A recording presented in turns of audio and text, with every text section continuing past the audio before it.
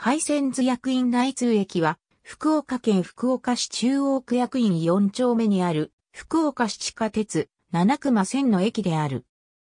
かつては、西鉄福岡市内線上南線にも同名の駅が存在したが、立地的には、現在の地下鉄駅の西端が、かつての路面電車駅のほぼ東端の位置にあたる。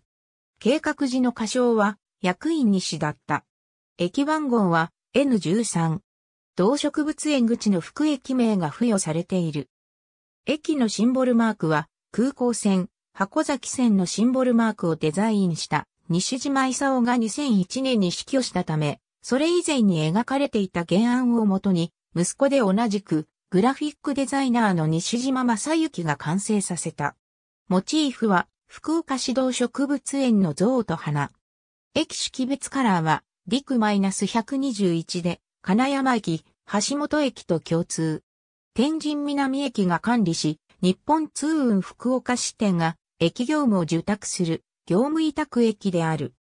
駅名標西鉄福岡市内線の役員台通、電停は1975年11月2日の大幅路線縮小時、廃止対象区間に含まれており、路線廃止とともに電停も廃止された。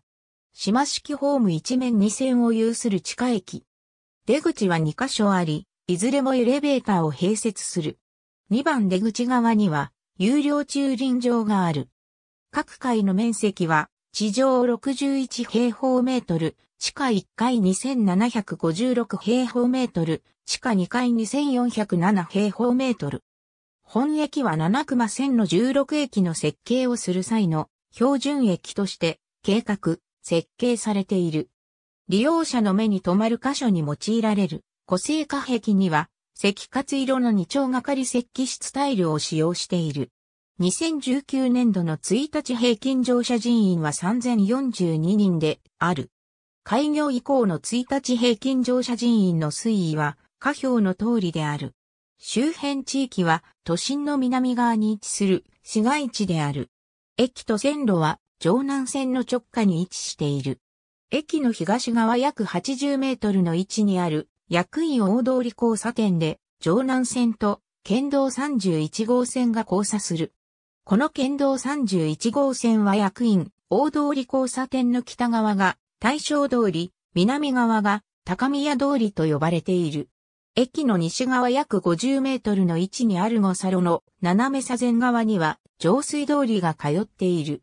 この上水通りに沿って直進すると動物園に行き着く。旧電気年体育館は営業を終了しました。ありがとうございます。